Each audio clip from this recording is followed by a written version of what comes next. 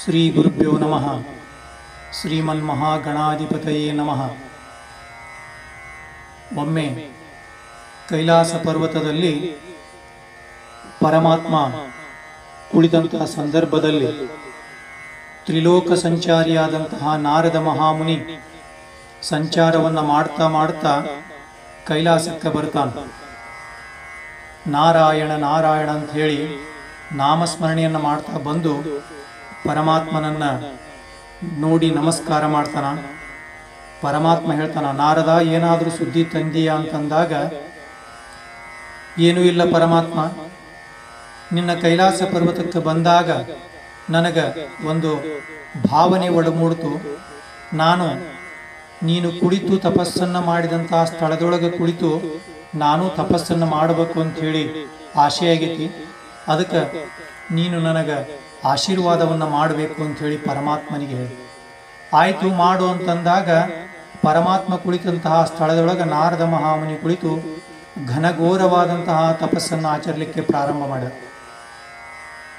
ಅಷ್ಟದಿಕ್ಪಾಲಕರು ಇಂದ್ರನೇ ಮೊದಲಾಗೊಂಡು ಎಲ್ಲರೂ ತಪಸ್ಸನ್ನು ಭಂಗ ಮಾಡಲಿಕ್ಕೆ ಪ್ರಯತ್ನ ಪಟ್ಟರೂ ಸಹಿತ ಆಗಲಿಲ್ಲ. ಕೊನೆಗೆ ಆ ತಪಸ್ಸು ಮುಗಿದ ನಂತರ ಆ ಪರಮಾತ್ಮ ಮತ್ತವನಿಗೆ ವರವನ್ನು ಕೊಡಲಿಕ್ಕೆ ಆ ಪರಮಾತ್ಮ, ಬ್ರಹ್ಮದೇವ ಇಬ್ಬರೂ ಬರ್ತಾರೆ. ಏನು ಬೇಕು ಕೇಳು ಅಂದಾಗ, ನನಗೆ ವರ ಏನು ಬೇಡ, ಕಾಮ ವಿಜಯವನ್ನು ಸಾಧಿಸಬೇಕು ಅಂದ್ರೆ ನನ್ನ ಆಶೆಗಳು ಇಲ್ಲದಂಗೆ ಮಾಡು ಅಂತ ಹೇಳಿ ವರವನ್ನು ಬೇಡಿದಾಗ ಆ ಬ್ರಹ್ಮ ಮತ್ತು ಪರಮಾತ್ಮ ಇಬ್ಬರೂ ತಥಾಸ್ತು ಅಂತ ಯಾವಾಗ ಈ ಕಾಮ ವಿಜಯದ ಒಂದು ವರವನ್ನು ಪಡೆದುಕೊಂಡಂತಹ ನಾರದ ಮೂರು ಲೋಕದೊಳಗೂ ಸಹಿತ ಅದನ್ನು ಹೇಳಲಿಕ್ಕೆ ಪ್ರಾರಂಭ ಮಾಡಿದ. ಎಲ್ಲಿ ಹೊಕ್ಕಾನಲ್ಲಿ ಹೇಳವ? ನಾನು ಇಂಥ ವರವನ್ನು ಪಡೆದನಿ ಅಂತ ಹೇಳಿ, ಅವನಿಗೆ ಆ ವರ ಅಹಂಕಾರ ರೂಪವಾಗಿ ಪರಿಣಮಿಸಿತು. ಸಂಚಾರವನ್ನು ಮಾಡ್ತಾ ವೈಕುಂಠ ಲೋಕಕ್ಕೆ ಹೋದ ಶ್ರೀಮನ್ನಾರಾಯಣನನ್ನು ಕಂಡು ನಮಸ್ಕಾರ ಮಾಡಿ ಆನಂದದಿಂದ ಹೇಳ್ದ, ದೇವ, ನಾನು ಇಂತಹ ತಪಸ್ಸನ್ನು ಮಾಡಿ ಕಾಮ ವಿಜಯವನ್ನು ಸಾಧಿಸೇನೆ ಅಂತಂದಾಗ ಒಮ್ಮೆಲ್ಲ ಎರಡು ಬರೆಯಲ್ಲ ಪದೇ ಪದೇ ತನ್ನ ಆತ್ಮಸ್ತುತಿಯನ್ನು ಮಾಡಿಕೊಳ್ಳಲಿಕ್ಕೆ ಪ್ರಾರಂಭ ಮಾಡಿದ. ಇದನ್ನು ಕೇಳಿದಂತಹ ನಾರಾಯಣನಿಗೆ, ನಾರದನಿಗೆ ಅಹಂಕಾರ ಬಂದತಿ, ಇವನ ಅಹಂಕಾರವನ್ನು ಅಡಗಿಸಬೇಕು ಅಂತಂದು ಆಯಿತು, ನಿನ್ನ ಒಂದು ತಪಸ್ಸು ಬಹಳಷ್ಟು ಶ್ರೇಷ್ಠವಾದದ್ದು. ನಿನ್ನ ತಪಸ್ಸಿನ ಮುಂದೆ ನಮ್ಮ ತಪಸ್ಸು ಏನೂ ಅಲ್ಲ ಅಂಥೇಳಿ ನಾರಾಯಣನಾದಂತಹ ಆ ವಿಷ್ಣು ಪರಮಾತ್ಮ ಒಂದು ಮೋಹ ಜಾಲವನ್ನು ಸೃಷ್ಟಿ ಮಾಡಿದ. ಮರಳಿ ನಾರದ ವಾಪಸ್ಸು ಬರುವಂತಹ ಸಂದರ್ಭದೊಳಗ ದಾರಿಯೊಳಗೆ ಒಂದು ದೊಡ್ಡ ಭವ್ಯವಾದ ನಗರ ಆ ನಗರದಲ್ಲಿ ಭವ್ಯವಾದ ಅರಮನೆ, ಆ ಅರಮನೆಯಲ್ಲಿ ಆ ಅರಮನೆಯ ರಾಜಕುಮಾರಿಯ ಸ್ವಯಂವರ ನಡೆದಿತ್ತು. ಅದನ್ನು ನೋಡಿದಂತಹ ಆ ನಾರದನಿಗೆ ಮೋಹ ಉಂಟಾಗ್ತತಿ ಮೋಹ ಉಂಟಾಗಿ ನಾನು ಸಂಸಾರಿಯಾಗಬೇಕಂತ ಹೇಳಿ ಮತ್ತು ಹಳ್ಳಿ ವೈಕುಂಠಕ್ಕೆ ಬಂದ. ವೈಕುಂಠಕ್ಕೆ ಬಂದು ನಾರಾಯಣನಿಗೆ, ವಿಷ್ಣು ಪರಮಾತ್ಮನಿಗೆ ಕೇಳ್ತಾನ, ಪರಮಾತ್ಮ, ನೀನು ನನ್ನ ತಂದೆ, ನನಗೆ ಸಂಸಾರಿ ಹೇಳಿ ಆಶೆ ಅದಕ್ಕೆ ನನಗೆ ನಿನ್ನ ರೂಪವನ್ನು ಕೊಡು. ನಿನ್ನ ರೂಪವನ್ನು ಕೊಟ್ಟು ಆ ಸ್ವಯಂವರದೊಳಗೆ ಆ ಮಾಲೆಯನ್ನು ಹಾಕುವಂತಹ ಆ ಯುವರಾಣಿ ನನ್ನನ್ನೇ ಮದುವೆಯಾಗುವಂಗೆ ಮಾಡು ಅಂತಂತ ಹೇಳಿದಾಗ ತಥಾಸ್ತು ಅಂತ ಹೇಳಿ ಆ ವಿಷ್ಣು ಪರಮಾತ್ಮ ಆಶೀರ್ವಾದವನ್ನು ಮಾಡಿದ. ಇಡೀ ದೇಹವೆಲ್ಲ ವಿಷ್ಣು ಪರಮಾತ್ಮನ ಚೈತನ್ಯ ರೂಪ ಸುರಸುಂದರ ರೂಪವಾಯಿತು ನಾರದ ಮಹಾಮುನಿದು. ಆದ್ರ ಮುಖ ಮಾತ್ರ ಆ ಕೋಡಗನ ಮುಖ, ಮಂಗ್ಯನ ಮುಖದಂಗ ಮುಖ ಆಯಿತು. ಅದನ್ನೆಲ್ಲವನ್ನು ನೋಡದೇ ಇರತಕ್ಕಂಥ ನಾರದ ಮಹಾಮುನಿ ವೇಗವಾಗಿ ಸ್ವಯಂ ಹೊರಕ ಬಂದ, ಬಂದು ಕುಂತ. ಸಭೆಯೊಳಗಿರುವವರೆಲ್ಲರೂ ನಾರದ ಮಹಾಮುನಿಯ ಮುಖವನ್ನು ನೋಡಿ, ಕೋಡಗದ ಮುಖವನ್ನು ನೋಡಿ ನಗಲಿಕ್ಕೆ ಪ್ರಾರಂಭ ಮಾಡಿದರು. ನಾರದ ಅಂದ, ನನ್ನ ಅತಿ ಸೌಂದರ್ಯವನ್ನು ನೋಡಿ ಹೊಟ್ಟಿ ಕಿಚ್ಚು ತಡಿಲಾರ್ದಕ್ಕೆ ನಗಾಕತ್ಯಾರ ಅಂತ ಹೇಳಿ ತಿಳ್ಕೊಂಡು ಕುಂತ.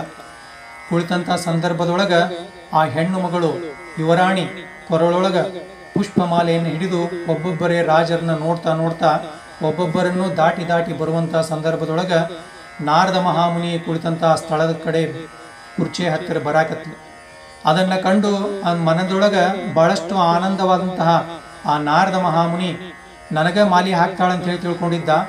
ನಾರದನ ಪಕ್ಕದ ಒಂದು ಕುರ್ಚಿಯೊಳಗೆ ಆ ಜಗದುಡೆಯನಾಗಿರ್ತಕ್ಕಂಥ ವಿಷ್ಣು ಪರಮಾತ್ಮ ಬಂದು ಕುಳಿತಿರ್ತಾನೆ.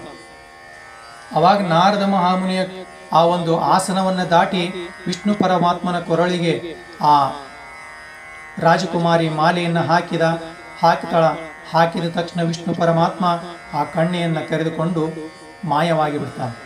ಇದನ್ನು ನೋಡಿ ಸಿಟ್ಟು ಬಂದಂತಹ ನಾರದ ಮಹಾಮುನಿ ವೇಗವಾಗಿ ವೈಕುಂಠಕ್ಕೆ ಬರ್ತಾನ. ವೈಕುಂಠಕ್ಕೆ ಬಂದು ಆ ವಿಷ್ಣು ಪರಮಾತ್ಮನಿಗೆ ಶಾಪವನ್ನು ಹಾಕಲಿಕ್ಕೆ ಬರ್ತಾನ. ನನಗೆ ಅನ್ಯಾಯವನ್ನು ಮಾಡಿದೆ, ಮೋಸವನ್ನು ಮಾಡಿದೆ ನೀನು. ನನ್ನ ದೇಹವನ್ನೆಲ್ಲ ನಿನ್ನ ರೂಪ ಕೊಟ್ಟಿ, ನನ್ನ ಮುಖ ಕೋಡಗನ ಮುಖವನ್ನ, ಆ ಮಂಗನ ಮುಖವನ್ನ ಮಾಡಿದೆ ಅಂತ ಹೇಳಿ ನೀನು ನನಗೆ ಹೆಂಗ ಸಂಸಾರಿಯಾಗಲಿಕ್ಕೆ ನೀನು ತೊಂದರೆ ಮಾಡಿಲ್ಲ, ನೀನು ಸಹಿತ ಫಸ್ಟ್ ಪತ್ನಿ ವಿರಹಿತನಾಗಿ ನನ್ನ ಒಂದು ಶಾಪವನ್ನು ಅನುಭವಿಸು ಅಂತ ಹೇಳಿ ಆ ಮಹಾ ವಿಷ್ಣುವಿಗೆ ಶಾಪವನ್ನು ಹಾಕಿ ಬರ್ತಾನೆ. ಬರುವಂತಹ ಸಂದರ್ಭದೊಳಗ ಮಹಾವಿಷ್ಣು ಅದನ್ನೆಲ್ಲ ಸ್ವೀಕಾರ ಮಾಡ್ತಾನ, ಮಾಡಿ ಅವನ ಮನಸ್ಸಿನಲ್ಲಿ ಮೂಡಿದಂತಹ ಆ ಮೋಹ ಎಷ್ಟಿತ್ತು ಅನ್ನೋದನ್ನ ನಾರದನಿಗೆ ತಿಳಿಸಿಕೊಡ್ತಾನೆ. ಅವಾಗ ತನ್ನ ತಪ್ಪಿನ ಅರಿವಾದಂತಹ ನಾರದ ಮಹಾಮುನಿ ಮತ್ತೆ ಹೊಳ್ಳಿ ಆ ವಿಷ್ಣುವಿನ ಪಾದಕ್ಕ ನಮಸ್ಕಾರ ಮಾಡಿ ತನ್ನ ತಪ್ಪನ್ನ ಮನ್ನಿಸಬೇಕು ಅಂತ ಹೇಳಿ ಕೇಳ್ತಾನೆ. ಇದರಿಂದ ಅವನ ಒಂದು ಅಂತರಂಗದಲ್ಲಿ ಬಂದಂತಹ ಒಂದು ಗರ್ವ ನಾಶ ಆಗಿಬಿಡ್ತೈತಿ. ಈ ನಾಶ ಆದ ನಂತರ ಮತ್ತೆ ಹೊಳ್ಳಿ ಪರಮಾತ್ಮನ ಹತ್ತಿರ ನಾರದ ಮಹಾಮುನಿ ಬರ್ತಾರ. ಬಂದಾಗ ಪರಮಾತ್ಮ ನಾರದ ಮಹಾಮುನಿಯ ಮುಖವನ್ನು ನೋಡಿ ನಗತಾನ. ಏನಪ್ಪ ನಾರದ, ನೀನು ತಪಸ್ಸು ಮಾಡಿದ್ದು ಫಲ ಎದಕ್ಕೆ ಸಿಕ್ಕತ್ತಂದ್ರೆ ನಾನು ಕುಳಿತು ತಪಸ್ಸು ಮಾಡಿದ ಜಗದೊಳಗೆ ಕುಳಿತಿದ್ದಕ್ಕೆ ನಿನಗೆ ಫಲ ಸಿಕ್ಕತಿ, ಇಲ್ಲ ಅಂದ್ರೆ ನಿನಗೆ ಸಿಗುತ್ತಿದ್ದಿಲ್ಲ. ಅಂದ್ರೆ ಇಲ್ಲಿ ಸ್ಥಾನದ ಮಹತ್ವ ಬಹಳಷ್ಟು ಐತಿ. ನಿನಗದು ಅಹಂಕಾರ ತಿರುಗಿ ನಿನ್ನ ಒಂದು ಅಹಂಕಾರ ನಾಶ ಆಯಿತು ಅಂತ ಹೇಳಿ ಹೇಳಿದಾಗ ಪರಮಾತ್ಮ, ನಾನು ಮಾಡಿದ್ದು ತಪ್ಪಾಗೈತಿ. ನನ್ನ ಅಪರಾಧವನ್ನು ಮನ್ನಿಸಿ ನನಗೆ ಒಳ್ಳೆಯ ವರವನ್ನು ಕೊಡು ಅಂತಂದಾಗ ತಥಾಸ್ತು ಅಂತೇಳಿ ಪರಮಾತ್ಮ ನಾರದ ಮುನಿಗೆ ವರವನ್ನು ಕೊಡ್ತಾನೆ.